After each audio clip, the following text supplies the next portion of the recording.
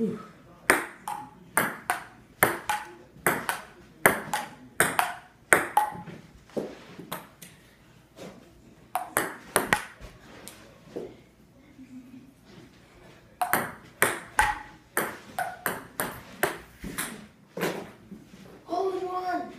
So I don't think we're going to keep score. Maybe another game we will, but this is just kind of for fun.